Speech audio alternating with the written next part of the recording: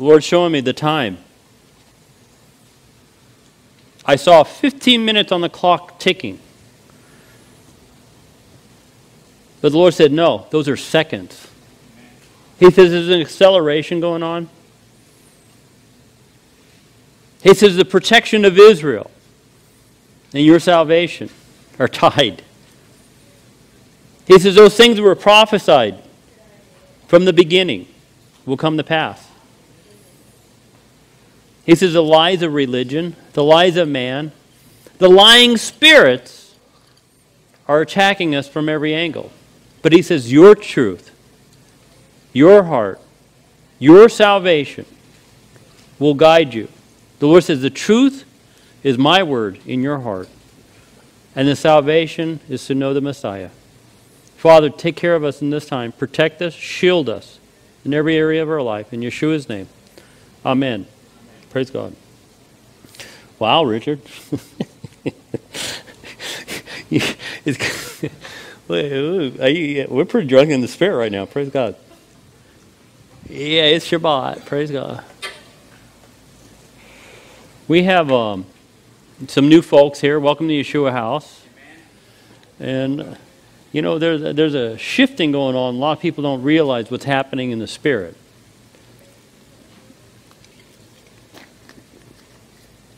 And, you know, the teaching the Lord's been giving us is specifically for you.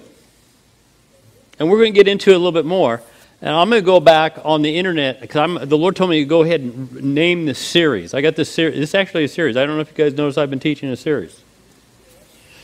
And because it's, it's part of your the end time battle.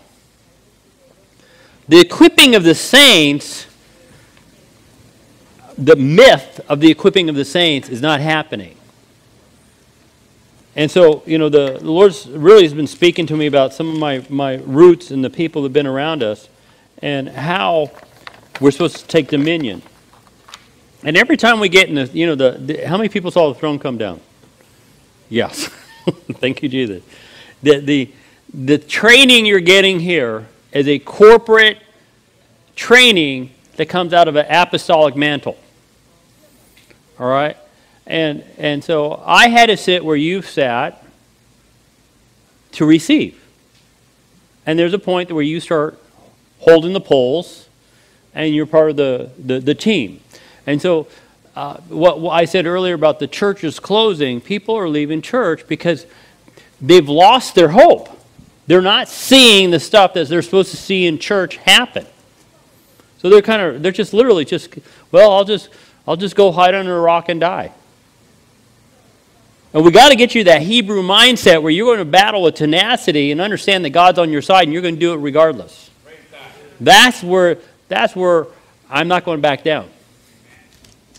And you know, this week uh, there's been a lot of battles, and uh, there's it's always about defining the spirit. And you know, uh, there's uh, there's the biggest spirit is this division in the in the body of Christ where people they believe they have something and then they, they, they don't want to submit. And the leadership has to submit. And I was, I was praying this morning and uh, I got a phone call from the gentleman that I was praying to God. I go, hey, I need to hear from him. And so I have people in the prophetic that I listen to too. Okay? And every once in a while they'll, they'll pop up. They, literally, I'll just pray and they pop up on the radar. Praise God. And so the, the understanding of the apostolic is not just a church word. Uh, you can go to churches and they call themselves apostles, and they really haven't done anything. It's a title that they put on themselves to control you guys. And it should be the opposite that, you know, if you have a title, you should be functioning in that ministry. So, uh, this, this whole teaching that we're giving you is for end time ministry. And this week we're going to we're to slightly touch on this. Um, we're in uh, Numbers chapter 34, 18. And we're getting close to the, you know, we got Deuteronomy, and then after Deuteronomy, we, we start the, the, the five books of Moses over again. It's, the Pentateuch is a uh, teaching here that, that we, we try to touch on. what we've been trying to emphasize is what you see in the Old Testament, God, you see the types and shadows in the Old Testament is also in the New Testament. And, and so what we were seeing last week, we were talking about how um, the Lord puts things in our mouths and why we must speak. That was in Numbers uh, 23 12. And this week in Numbers 34 18, we, we come across, and you shall take one leader of every tribe to, uh, to portion the land for his inheritance. And first of all, we were in worship, and this wasn't in my teaching, but the Lord was showing me specifically how that land, Israel, was divided up among the tribes. Number one.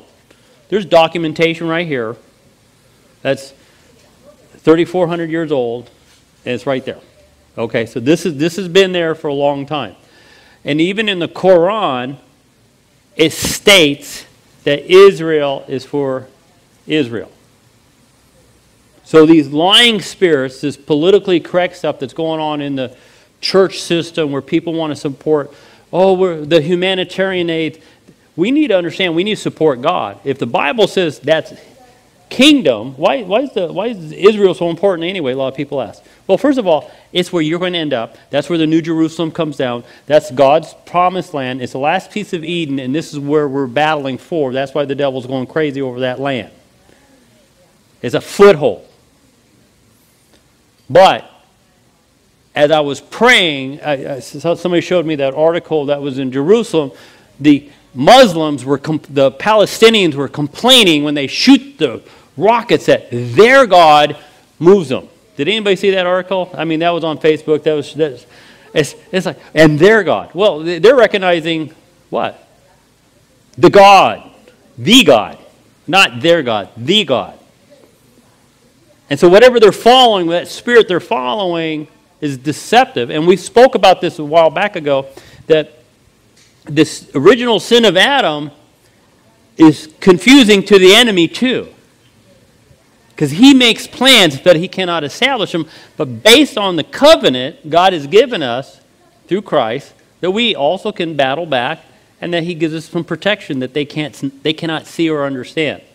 So this week, we're, it says that one chieftain, one from every tribe, you shall take the, take the land, the possession of the land. In, in the New American Standard says, says a, a portion the land for inheritance. How many people have the word inheritance in there? All right, well, let me explain inheritance. It's just not a one time, two one person thing in Hebrew. This is an everlasting inheritance. You're not supposed to get wealthy and give all your kids, give all your money to the kids, and that's supposed to be the end of that money. It says a good man gives a blessing to his second and third and fourth generation. It needs to be handed down, but there also has to be a spiritual blessing there. But if the spiritual blessing isn't there, you're not going to receive the financial blessing long term.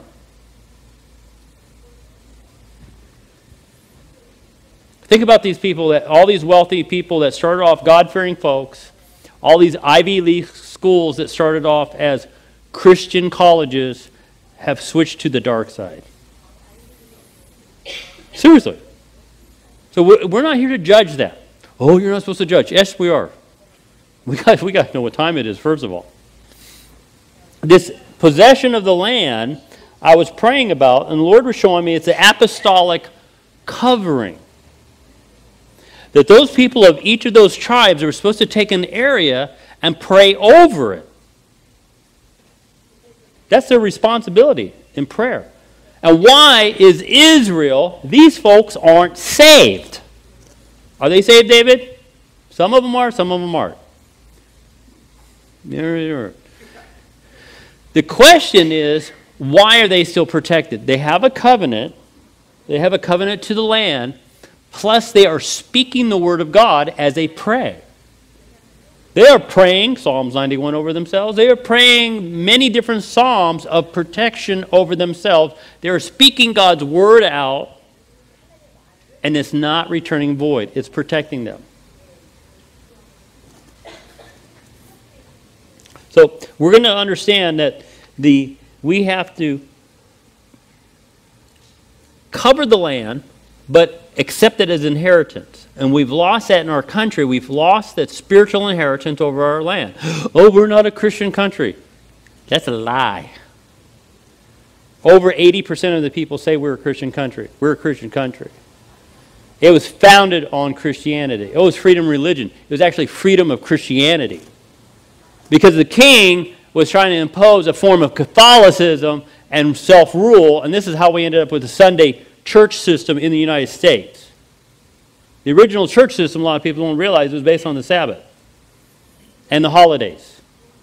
So we, we got tricked and fooled along the way.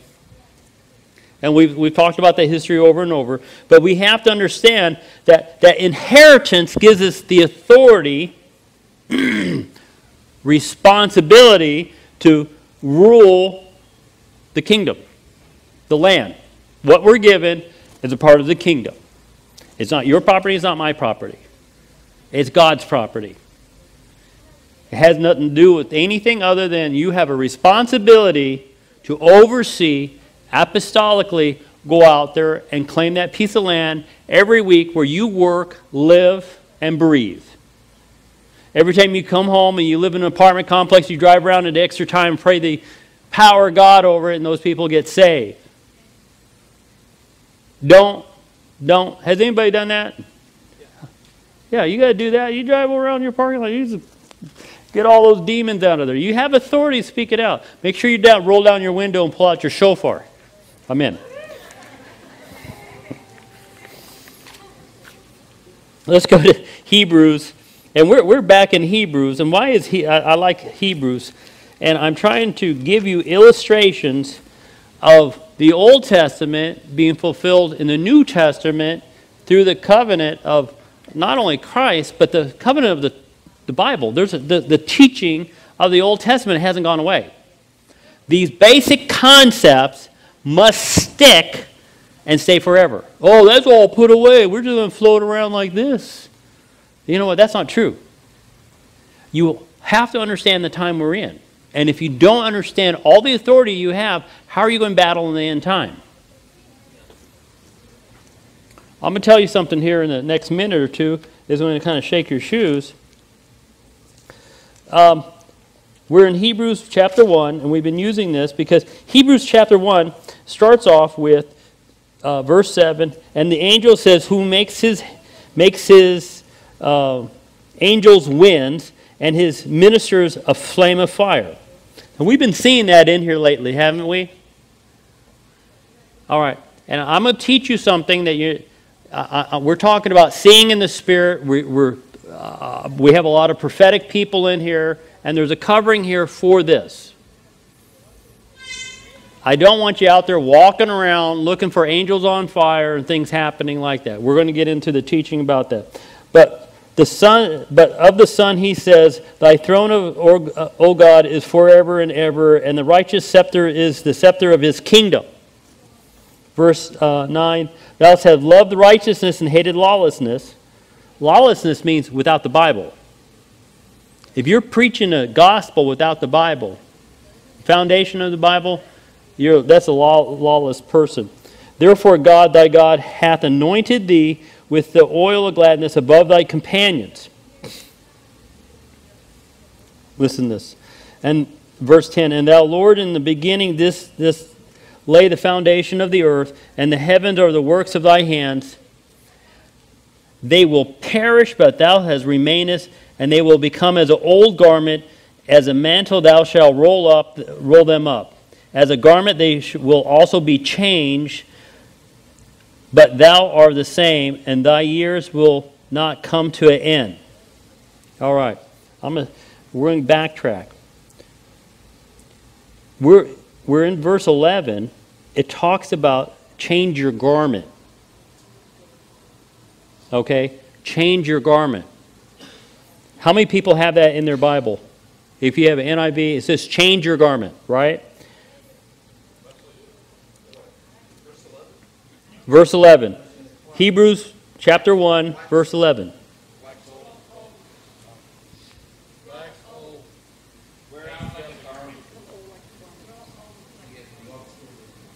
We're in Hebrews chapter 1, verse 11. There's different words there for changing the garment.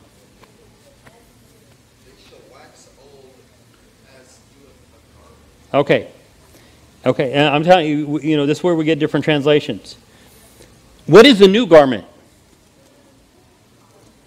What is the new garment? Is there a new covenant? Well, it's paid for now. Okay? And we're going to get into that. So, could the new covenant be the armor of God? Could the new garment be the armor of God? See, it's not a new covenant, it's a completed covenant. See, in the Old Testament, they did not have something that we have. And we're going to see that in verse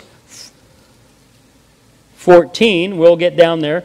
Verse, let's go back to 13. But to which of the angels has he ever said, Sit at my right hand until I make thy enemies a footstool for thy feet? Are you, they not all ministering spirits? Okay, ministering there is ongoing. It's not going away. There ha- it's happening right now with and without your approval. Okay? Actually, without your approval, when you say something stupid, you stop your angels. We talked about that. Sent out to render service for the sake of those who will inherit salvation. If you're born again, you have a different garment than you had in the Old Testament. In the Old Testament, they were looking towards the Messiah. As Christ died on the cross, we receive salvation. There's an inheritance that comes with the salvation, and there was a changing of the garment because the old garment wasn't because of an old covenant, the covenant wasn't completed yet. We've talked about this before about the fivefold ministry, the apostolic, and the, gov- the, the garment. And I was praying about this, and I'll tell you what, the Lord gave this to me yesterday morning. Is that when your your arm was cramping up? I'm sitting there praying for Kimberly, the Lord's speaking to me. so we need to understand that verse 14, how many people have the word escape in verse 14? Nobody? Okay. Your salvation is a form of escaping from death. Does that make sense? You were sentenced to death based on the sins of Adam. You've accepted Christ. He paid the penalty for you. You've accepted Him as master, and your spirit was reborn. You're born again, and you have salvation. Your salvation is the only thing that's going to get you through the end times. Well, I know this. It doesn't matter. I can do this. It doesn't matter. Your salvation has to last to the end of the game. Once saved, always saved. I wouldn't gamble on that. People, people get deceived all the time. Well, we got these ministering angels. Yeah, you do.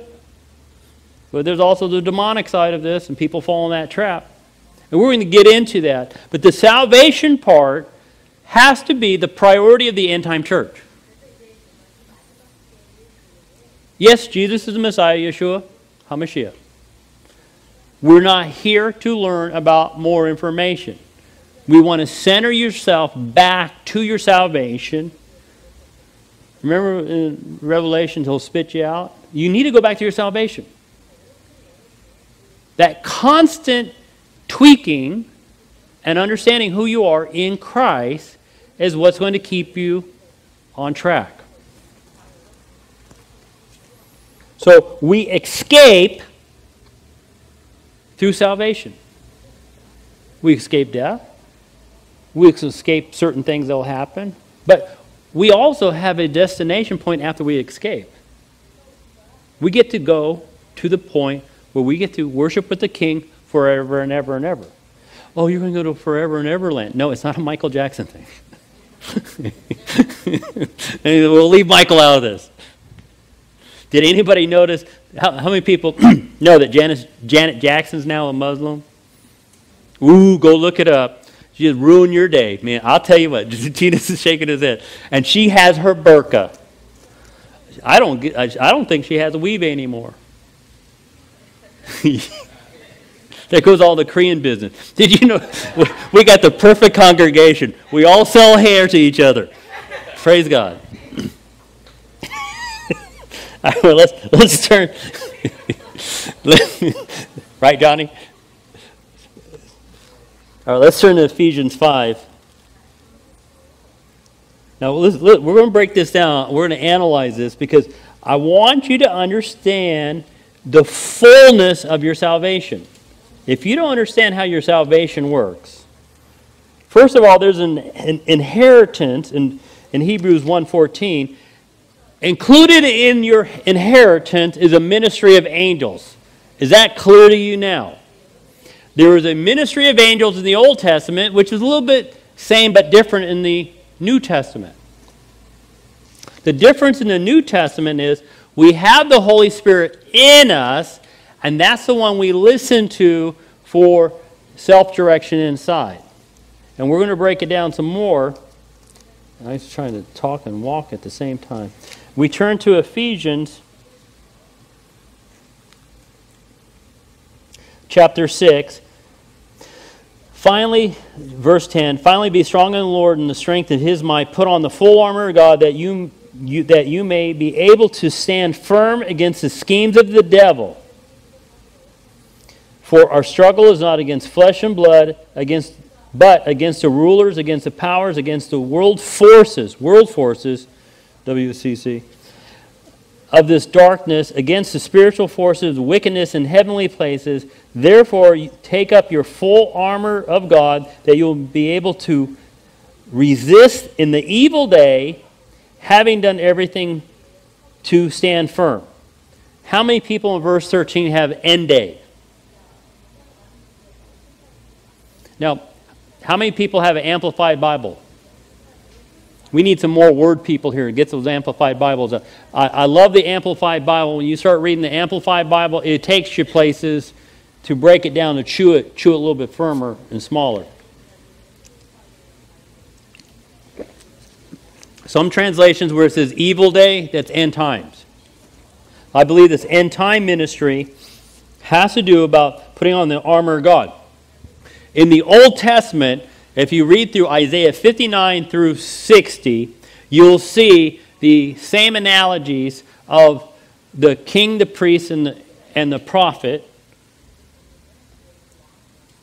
as we use the same analogy as the fivefold ministry, therefore take on their, um, therefore take on the full armor of God that you may resist. Verse 14, stand firm, therefore, having girded, gird your loins with truth, having put on the breastplate of righteousness, we've talked about this. As the Hebrew priest, and having shod your feet with the preparation of the gospel, in addition to all things, taking up taking up the shield of faith which which which with which you will be able to extinguish all the flaming missiles of the evil one.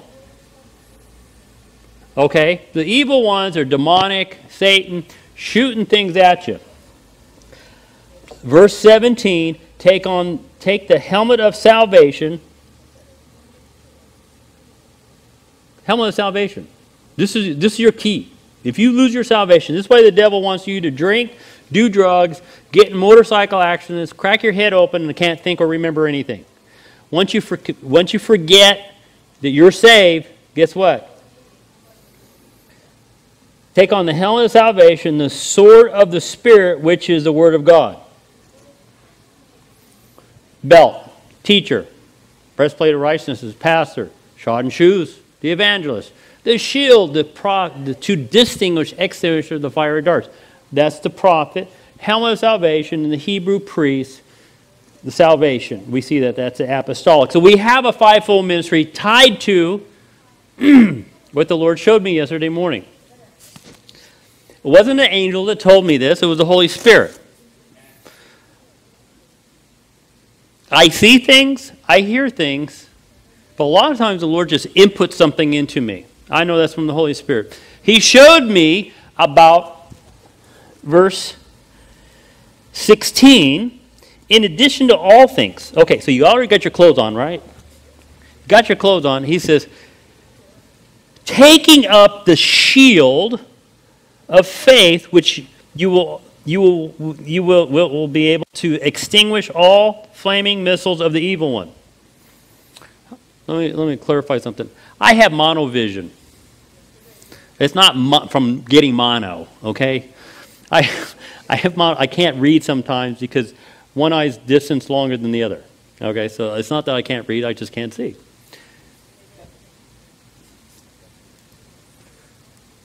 Monovision is when you kiss people, you get it, right? So we're taking up the shield. How many people last week saw the blue shields? We had some folks over here and some folks over here. Remember the blue shield? the Lord was showing me that the salvation we had includes the protection of the angels.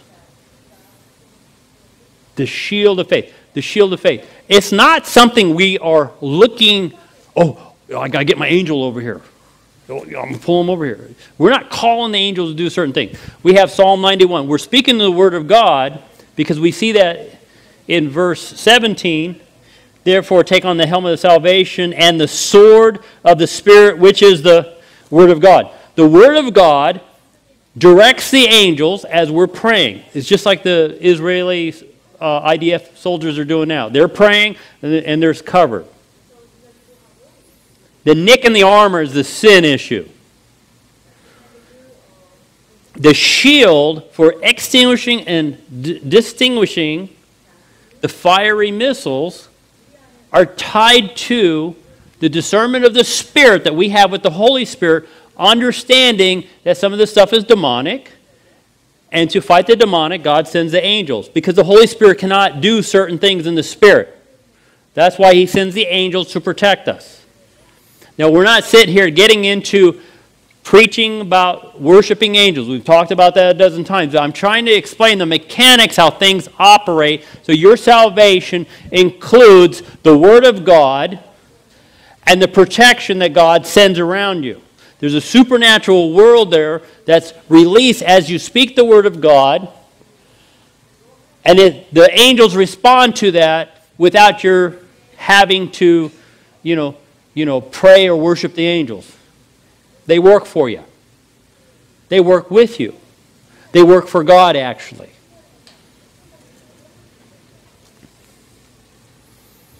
So, verse 11, it's a new garment. Verse 12, warfare.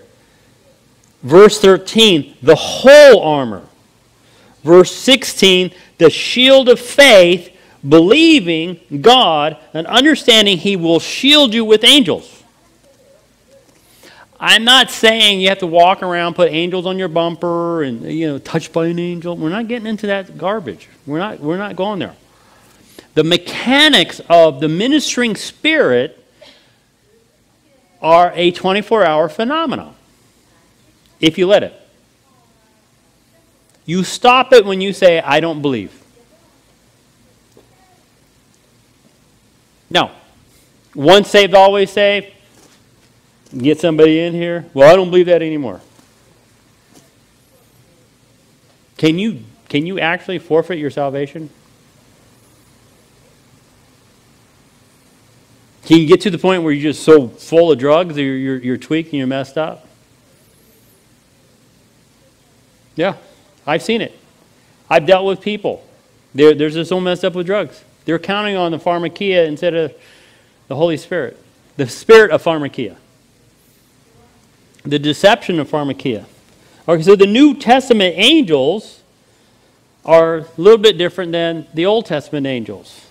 The Old Testament angels would come and speak and give certain direction. The Holy Spirit now is doing that full time with us. He's giving us the discernment of spirit. And so the angels, they're kind of like the wide receivers. They're going out and doing the long bomb. They're taking certain business. They're going out and circumstantially changing events, moving those missiles over, pushing things aside, lining things up, coming to the healing. Well, Jesus didn't use angels. Well, in the, in the Gospels, you also see that they were waiting for the angel to come to the pool and stir the water so they can sit there and get healed. That was, that was right up to the time of Christ. But then you see the angels coming to Mary, Joseph, Zacharias. You see the angels pop up in the book of Acts. Let's turn to Acts chapter uh, 5.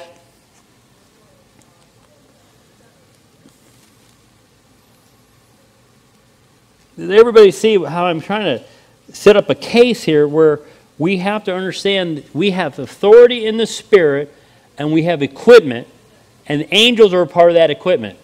Praise God. Not like one of those big old 4 by 4s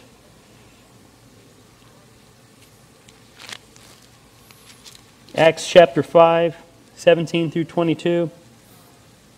The high priest rose up alongside his associates. This is the sect of the Sadducees. They were filled with jealousy, and they laid hands on the apostles and put, put them in public jail. But an angel of the Lord during the night opened the gates of the prison, taking them out. Now, the angels can give you direction. They don't, they don't teach you certain things. Angels cannot teach salvation. They can't preach the gospel. Angel, if the angels could preach the gospel, they've been doing it a long time ago because we're not good at it. The angels spoke, gave direction, said, Go your way, stand and speak to the people in the temple with the whole message of this life, salvation. This should be in there. But upon hearing this, they entered into the temple about daybreak and began to teach. Now, when the high priest and his associates came, they called out the council together. They just got out of jail, and the angel said, Okay, guys, you got faith now? I just got you out of jail. Go preach. Go preach. That, did I just make that up? That's what he told them. If you're having supernatural things happen around you, you should get some boldness in your fortitude. Seriously. You need to understand that God protect you at this one level. He's going to take you to a higher level to fight. Did they see? They spoke to the angel. But they didn't see how he got them out. Lots of angels. Let's go to chapter 10, verse 1 through 6. We're dealing with Cornelius now. Cornelius, is he a believer? No, he's not a believer right now. He's not a believer. What he was doing, he was praying psalms, and God was listening to him chapter 10, verse 1 through 6. Now there was a certain man at Caesarea named Cornelius, a centurion of what was called the Italian cohort, a devout man, one who feared God with all of his household and gave many alms to the people of Israel and prayed to God continuously. And, and in the ninth hour of the day, clearly saw a vision. Let's put this a vision, an angel of God who just came into him and said, Cornelius. Cornelius was fixing his eyes upon him and was being much alarmed. He said, What is it, Lord? Remember, when you got an angel, you need to ask him what it is, because they're usually messengers. And he said to him, Your prayers and alms have ascended as a memorial before God. A lot of people discount their offering. You see there's a little tie in there with the offering? But his prayers went up also. He wasn't born again, but he was seeking the truth.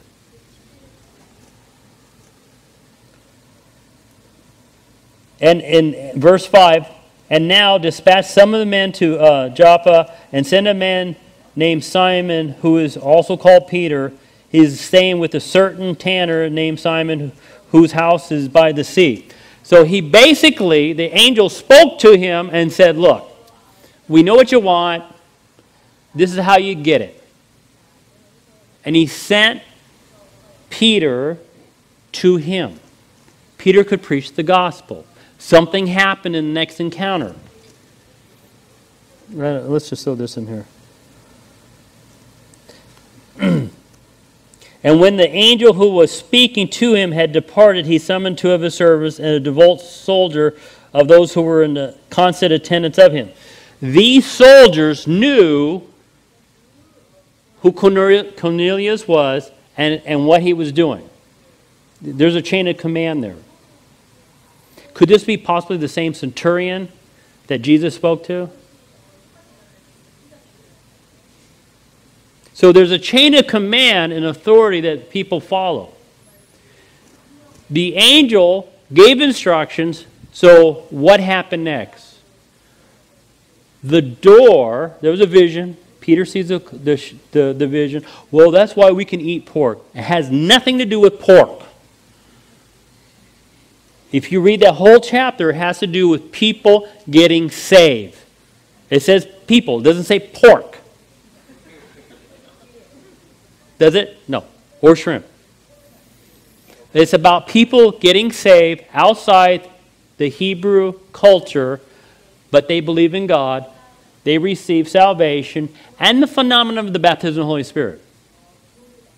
That would push the Gentiles into what we call the new covenant the baptism of the Holy Spirit. Well, I don't believe in speaking in tongues. Well, you know what? They didn't either. And then when it happened, the Jewish people or the Hebrew people accepted the non Jewish people, the Gentiles, into the covenant. So that was powerful. So Cornelius had a vision. And so, like when we're, we're in prayer and we, we have this corporate prayer going on, and the angels come in, we're going to start seeing visions. Certain things will slow down. Now, there's, there, I, I don't believe everything I see on YouTube. Seriously. There is one deal on YouTube where uh, it's, it's, it's photographed. Uh, you might have seen it. This, this kid was in a car, and there was an intersection, and this car ran a red light, and and it has a little time thing there and the, the, the car was actually there's like a flash of light like you're thinking it's going to be the crash and then it's, somehow it's moved over so what we were saying that angels can circumstantially intervene see what i'm saying it's not like we're going to pray oh i'm praying that the angels clean my house make my bed, clean the dishes. You know, we don't want to abuse these guys. You know, you get some union angels, you're going to have a real problem. They're, they're going to come against you. But there's, there's certain things that they, they're, they're going to do because they're required to protect you. Unless you said, I don't believe that, I don't need them. Faith moves them, unfaith stops them. Let's go to Acts. We're going to move along here real quick. Acts chapter 12. We see Peter in jail again. And so he has his get out of jail angel card. Verse 6. We see Peter uh, on, a ver- on, that, on that very night when, when Herod was about to bring him forward, Peter was sleeping between two soldiers, bound with chains, and a guard in front of the door was watching over the prison. All right. They had an experience with him once before, kind of just scooting out the door. Behold, an angel of the Lord suddenly appeared, appeared, and a light shone in the cell.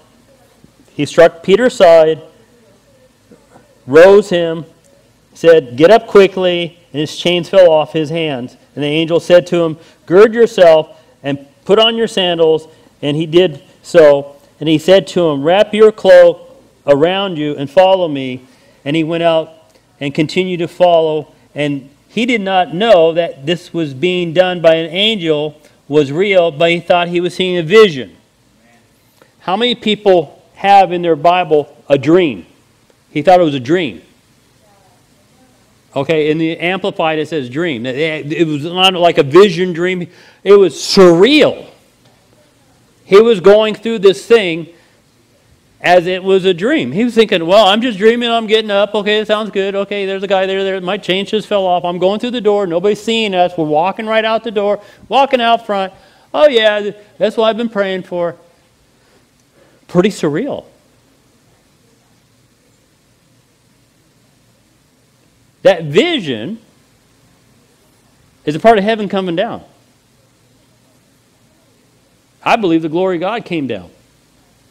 That's why when we pray and we see the glory, that that glory is being released because in that glory is His presence, and is an, and attending Him are angels. Oh wow, we're really talking about angels a lot.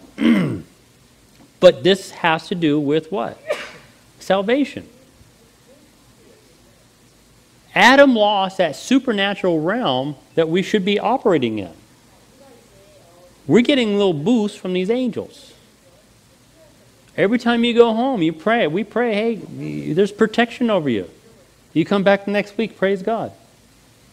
What happens when you have salvation and you start neglecting or negating the angels?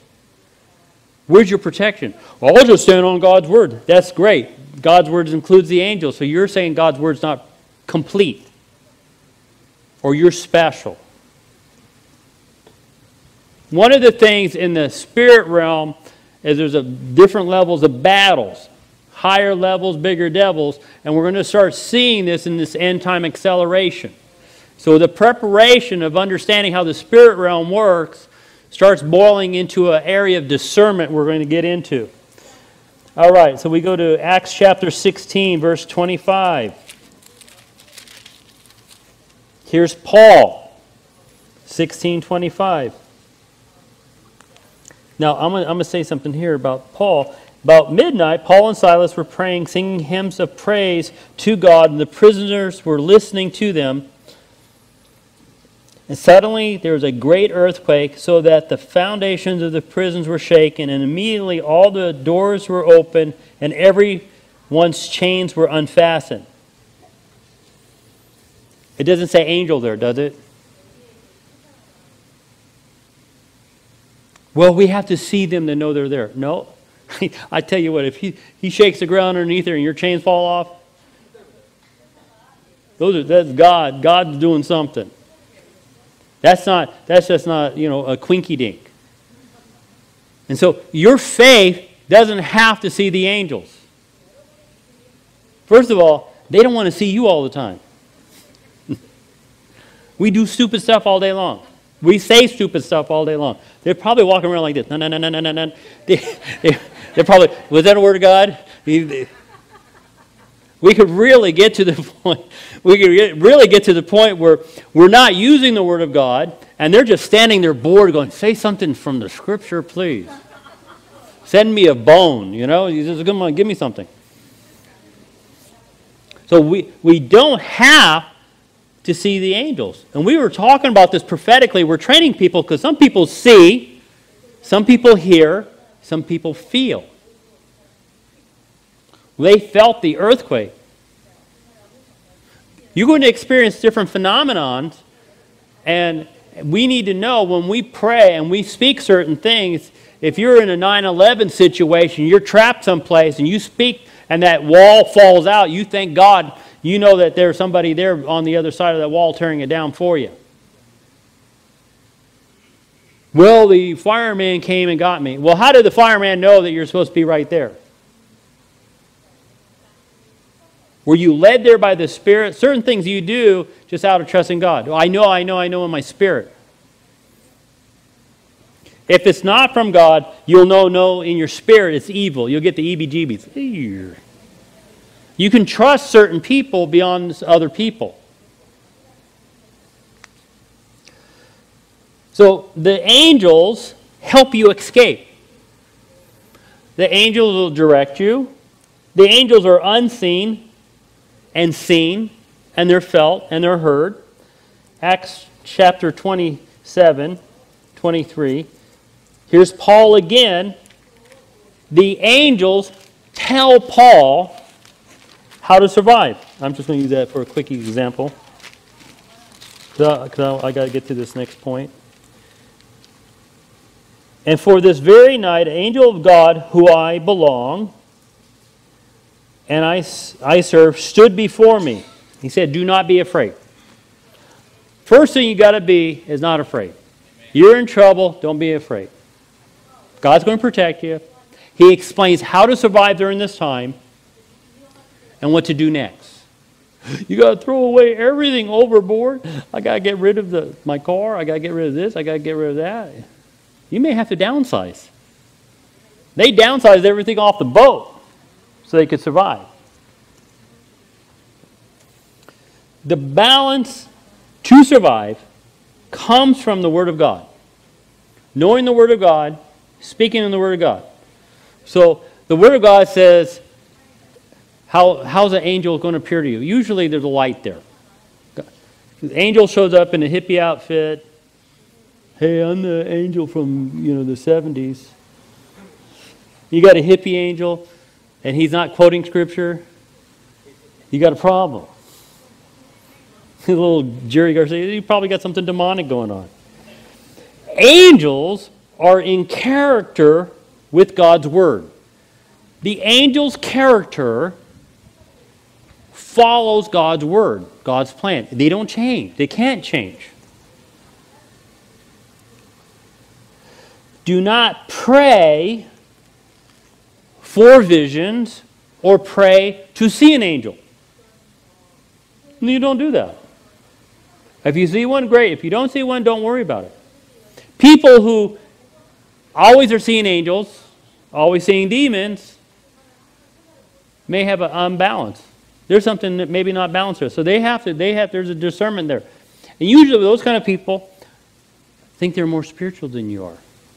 They have a something haughty about them. Ooh, I'm I just, ooh, I see a demon over there, I see a demon over here. Go look in the mirror. We need to study the Word of God and expect a supernatural blessing, supernatural experience, supernatural deliverance. If salvation is tied to this end time revival, the salvation is tied to the supernatural, and we keep going back to salvation because that's what you got, that's your first love, is your salvation, then these other things are expectation. When they happen, they happen. The rest of the time, you should be operating out of the fact that the grace that God has given you, your salvation, your life, you know, you know my definition for grace, right? If you're breathing, that's grace. Seriously. Well, it's not some something ooey gooey. No, you're alive right now. God has His hand on you. He wants to use you for this end time ministry and take it up to the next step. We need to we need to study the Word of God and expect the deliverance from danger. We also need to understand these hyper spiritual people may not be right. Well, this one lady always sees these things and blah, blah, blah, and it's not scriptural. It's not found in Scripture. Well, or they'll come up with something and say, well, I don't, I don't believe in this. I'll pick and choose this, or I'll see something over there. Or they always, well, my angel has a name, or something else has something going on, blah, blah, blah. They start putting labels on things that really don't pertain to God's Word. That's when you get a problem. We have cults where angels have came and spoken to a man. Islam, Mormonism, Jehovah Witnesses, Seventh day Adventists. These are people that actually put angels up here on a pedestal. They, have, they put that what comes out of the angel's mouth above God's word. Well, how do you test that? How do you test that? Very simple. We're going to give you the answer. Let's go to 1 John. We got to test these spirits, 1 John 4. 1 through 3. And somebody mentioned the Pope earlier. And I am just amazed what's coming out of the uh, Pope Mobile. What do they call that place over? Oh, Rome. And over there, they are saying that Jesus is not coming back. And so we need to be good and contribute to the overall humanity of mankind. And they are not saying one thing about the 17,000 Christians that were killed in Syria since the beginning of this year. 17,000. They got the UN going into Hamas, who are shooting. How many missiles they've shot now? Is 3,500 missiles? Godzilla amounts. They got Christians all over Iraq being killed, tortured, all the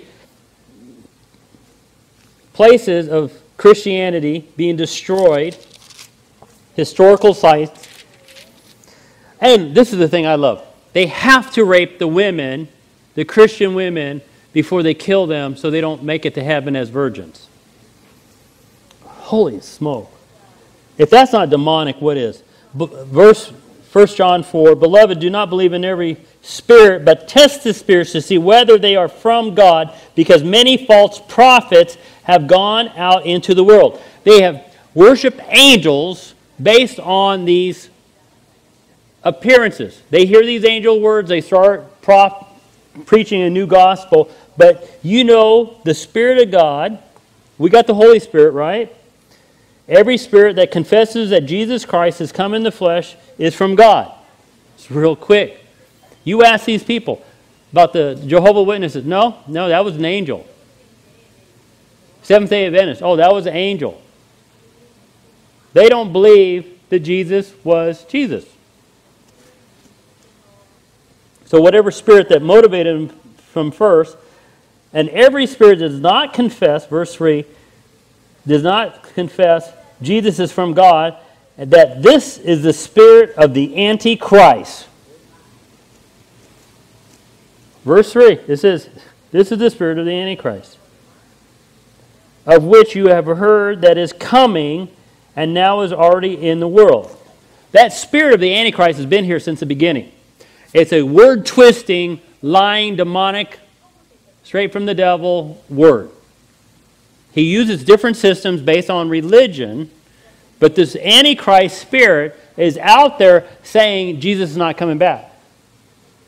Well, if Jesus said he's coming back, that means Jesus must be a liar, right? And everything he wrote about him is a lie. And everything in the book of Revelation is a lie and everything in the New Testament's a lie, and he's not coming back. Oh, by the way, if you're a Christian, you're under the authority of the Pope now, according to the Pope. Not this guy. So the Antichrist spirit, the Pope, has a counterpunch. The counterpunch is we have the Holy Spirit. Verse 4 You are from God, little children, and have overcome them, because greater is He is in you than He is in the world. You have salvation, they don't. Your inheritance is the salvation, and in that inheritance comes the authority to speak the word of God and expect the supernatural from God to succeed in every area of your life.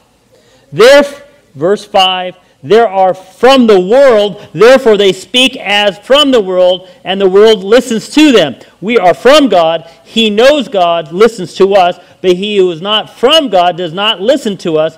But this we know the spirit of truth and the spirit of error. The spirit of error is this demonic antichrist spirit. When they say Jesus is not coming back, they are in error. Well, we're not supposed to judge. You better judge that. They're lying and deceiving people right into hell, and we don't understand that, that we're operating in the Spirit 24 7, but we're not exercising that gift, and so we never see any breakthroughs. We don't know what the full armor of God is. We don't know what the spirit realm is and the different levels of the spirit realm. That's why we're teaching you this so you can take it up the next step in your personal life. Am I talking loud?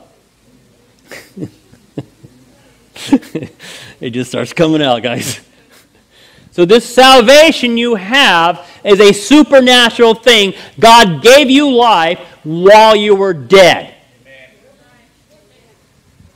The discerning of the Spirit is your judging what's going on in the world.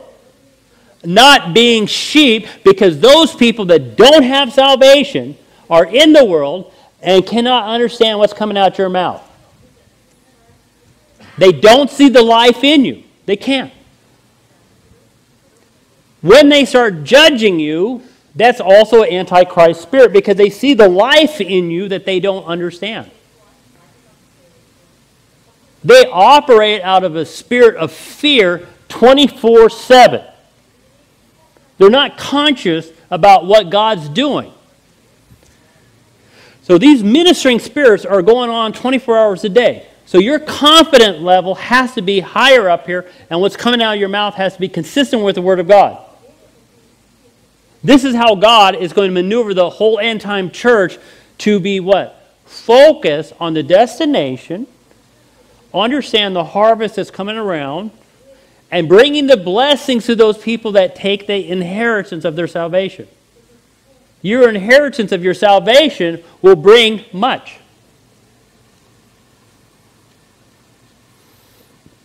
The Holy Spirit that is in us will always be the deciding factor.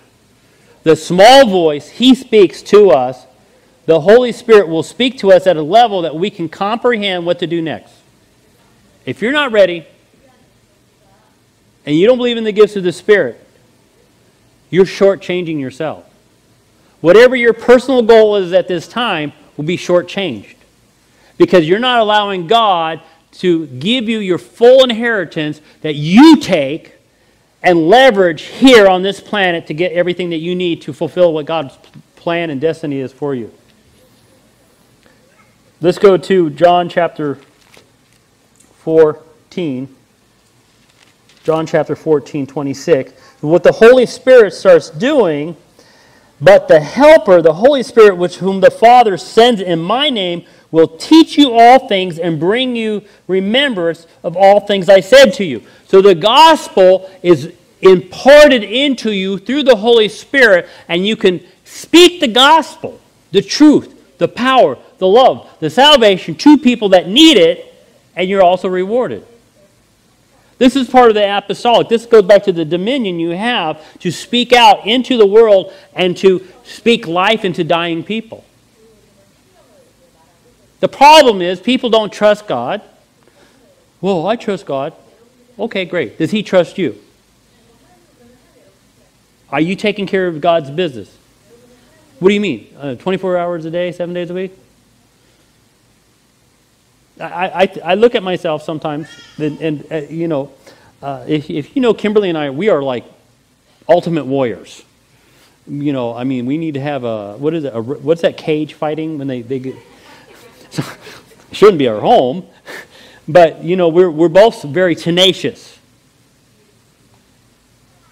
But we also have to realize that the Christians, most Christians, are trying to please men, mankind. And they're missing the fact of what's going on in the church, and the churches are falling down, like we talked about earlier.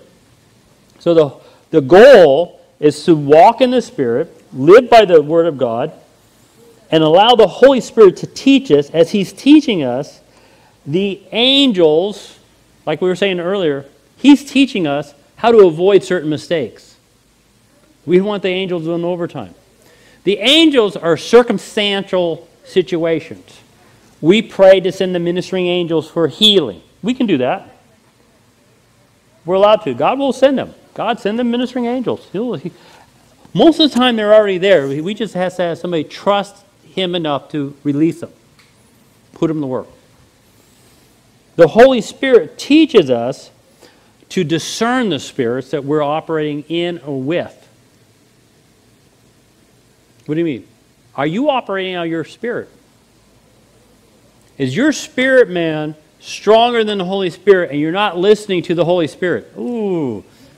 Let's put it this way. Is your will and your mind and your things that you have, you want, lifestyle, goals, everything, is that stronger than God's plan for you? This is where we submit. Well, Moses was very meek. No, he was, he was meek not because he was weak. He was meek because he submitted to God's plan and God rewarded him. He started out as the head of Egypt, lowered himself, and God promoted him over here. Let's go to the last scripture.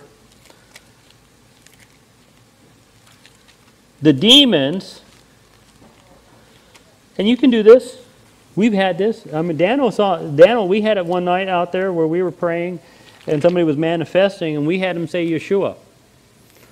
And you know what? They can't say Jesus came in the flesh. Ooh, jeez. Oh man, they start sparking. First Colossians two eighteen. I'm up here stumbling through my notes.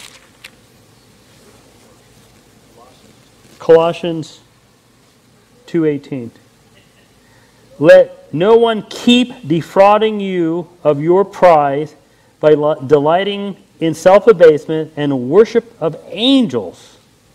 Now that word worship of angels, religion of angels. Catholicism is actually based on angels and visions. Taking his stand on visions he has seen inflated without the cause of his fleshly mind. Constantine saw a vision. Is that true? I heard it was an Ankh. What is an Ankh? That's the Egyptian death cross. It looks like a cross with a little head on top. Constantine changed the whole church. Martin Luther did not reform us all the way back to the beginning of what we were, where we were in the beginning of the church. Martin Luther basically said, "Yeah, Catholicism is a nice stuff, we'll keep it. Martin Luther was anti Semitic. Calvin killed Jews. They were being killed because of the Shabbat.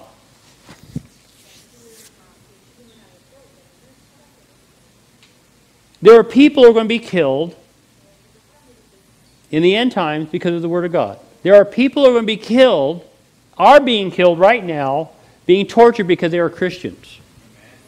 They may not know as much as you do, but their last breath is Christ.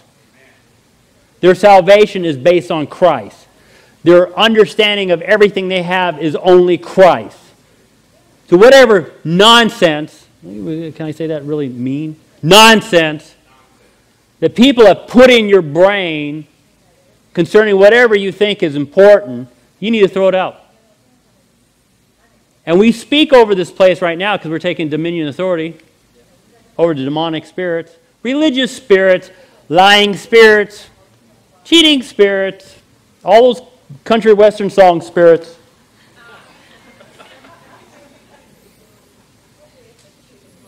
Generational spirit, cultural spirit, antichrist spirit, anti Bible spirit, those spirits are leaving right now. The end time clarity of your salvation is what's going to promote you, is what's going to save you, what's going to keep you on track. The angels, this is a benefit, that's a sideline benefit. We need to understand, yes, we have gifts, and you guys are being trained. Why are you being trained? First of all, maybe God sent you here. You get haughty and you get nutso on me, we will take that out of you. That's a haughty nutso spirit. I've seen it. I went to Rhema. Perfectly good people getting pushed into a religious place where they haven't repented or sinned or got themselves cleaned up. And they go nuts. They, get to, they put on a religious spirit. They start walking weird. They talk weird. Hi, brother, how art thou?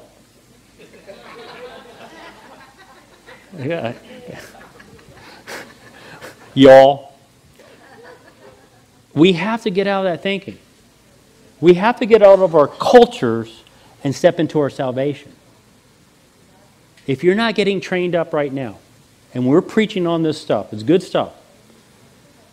God's released, He opened up the window about five minutes ago. Did anybody catch that in the Spirit? We shifted. We shifted. And there's a corporate anointing that's coming into this place because this is for end time ministry. And all you are here for training, healing, getting on track, being prepared for the battle. Number one thing is your salvation. If you're not saved, well, you think you got something going on, ooh, I'm better. I, I don't need that. I'm waiting. I'm, wait, I'm waiting for the last minute. Oh, there goes the trumpet. Oh, you missed it. Jeez. It may happen. We've seen that. I, am, I, I got some folks here I'm pointing at. I know who he is. There's people we love, and they come to church with us, and they don't care about Christ. They don't care about the side effects, what they're doing, and the sin that they're in, and how it's hurting other people. We have to establish ourselves long term until the end. Father, we thank you for our salvation. We thank you for the strength. We thank you for the strengthening of the Holy Spirit. We thank you for the protection you give inside and outside. The Lord saying that the angels are for the outside, the Holy Spirit's for the inside. Thank you. We thank you that we are end time warriors, that you are training us to take us up to the next level. We ask, Father, for the protection over Israel. You do send your ministering spirits, your angels there. Protect them. Father, we ask for that revival to come out of Israel, to touch everybody's heart, to defend your word. Amen.